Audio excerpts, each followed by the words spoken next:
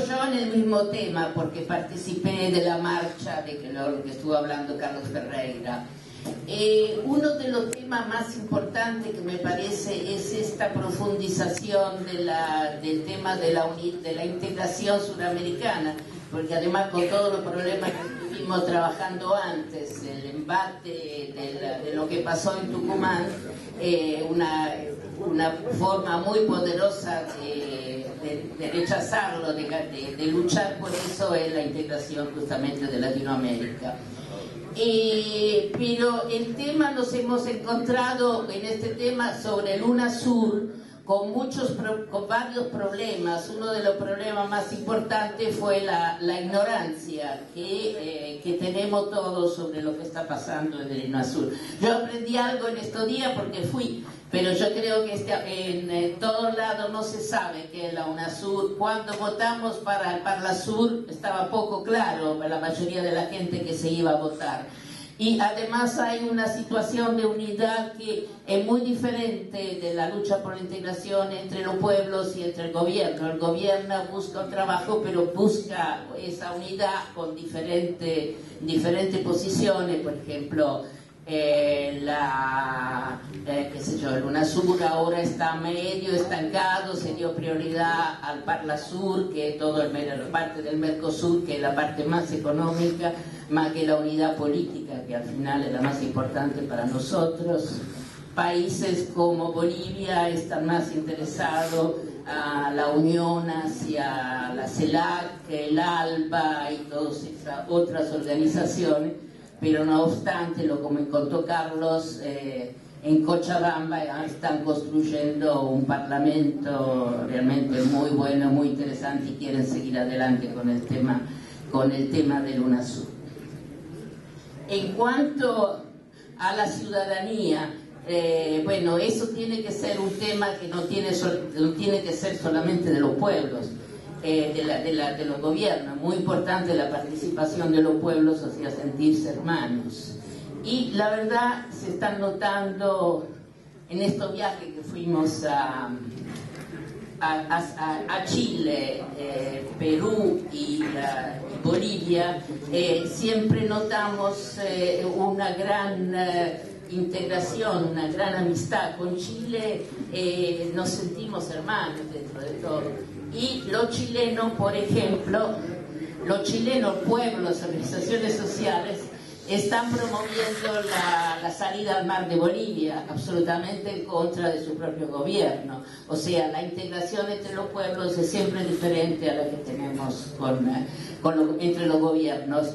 Y en, en Perú la situación fue muy dura un país muy triste. A mí me dio mucha tristeza estar en Perú porque, como contaba, la, eh, estaban en esos días estaban llegando 3.200 marines con y ya empezaban a hablar de las violaciones de las mujeres.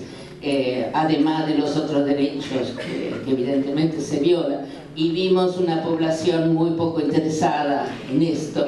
Nosotros hablábamos de la eh, de los marines que llegaban y era como indiferencia total. O sea, una población y un movimiento sociales muy, muy peleadores, un poco más antiguo como razonamiento porque están mucho menos acostumbrados a la, a, trabajar con el gobierno. Por ejemplo, nos reunimos con los ronderos de Cajamarca, que son organizaciones campesinas que constitucionalmente pueden administrar la justicia cuando el Estado no interviene. Evidentemente eso crea una cultura que es bastante diferente a la nuestra. Em, respecto a Bolivia, por supuesto, ahí vamos más a aprender que otra cosa, porque nos encontramos con eh, eh, encuentro, eh, ¿se acuerdan que vino el ministro de gobierno Quintana acá? Bueno, nos Tuvimos una hora reunidos con él, otra hora reunidos con Alfredo Radas del Ministerio de, Participación de los Movimientos Sociales y el interés en todo esto era absolutamente otro. Los movimientos sociales en, efectivamente en, en Bolivia son lo que prácticamente gobiernan. El MAS es solamente un partido político que fue hecho por motivos electorales y eso pasa a ser uno de los problemas de Evo se habla del evismo, como nosotros tenemos problemas con Cristina, con el reemplazo de Cristina, lo van a tener ellos con el reemplazo de Evo. Pero entonces todo esto fue el avance que estuvimos haciendo y hablamos mucho de construcción de ciudadanía, de la construcción de la soberanía política, económica y cultural. Eso fue uno de los temas eh, más fuertes que estuvimos tratando antes de llegar al acuerdo entre pueblos de hacer mesa de trabajo binacionales, como contaba, entre los dos países. Y en ese sentido creo que hicimos un avance muy importante, pero evidentemente hay mucho que hacer y una de las cosas que eh, me parece extremadamente importante es que nosotros eh, promovamos, adquiramos la conciencia de la importancia de la Unión Suramericana eh, entre, y la, sigamos en el nivel en que estemos y la intentamos y la, la podamos promover porque esa va a ser prácticamente una herramienta única para luchar contra el problema que tenemos. Eh, ¿Qué más le voy a contar? Eh, bueno, Bolivia fue sensacional, Ah, que Chile lo, lo, pasé de largo. Chile fueron muy interesantes también todas las reuniones con los movimientos sociales. Estuvimos en la calle, eh, en movimiento, en protestas y hablando hasta con el micrófono, con, con, el tema de la AFP, que son la AFJP, que están produciendo situaciones desastrosas. Y en, uh, en, en Lima, Perú, fue lo mismo Después vimos, qué sé yo, destrucciones de los ferrocarriles, eh, fuimos al ferrocarril de, Lima, a la estación. Yo casi me puse a llorar porque hace 30 años que fuimos allá para trabajar justamente con los ferrocarriles y ahora era un hermosísimo museo de la cultura. O sea, está bien el Museo de la Cultura, pero los ferrocarriles hacían falta y hacen falta. Eh, esas son las partes, no creo que tenga ninguna otra cosa salvo seguir. Un pequeño detalle que es más una curiosidad sobre, sobre Bolivia es que eh, que de antes, era en este, no lo había visto en los anteriores viajes a La Paz, que hay un teleférico, hay cinco teleféricos en la ciudad de, de, de La Paz que llevan la población a los cerros. Quien conoce, eh, conoce la ciudad de La Paz, que está rodeada de cerros eh, hacia el alto, donde vive la población de trabajadores de la, de la ciudad, eh, saber que están estos teleféricos ha cambiado la vida de la ciudad en una forma impresionante.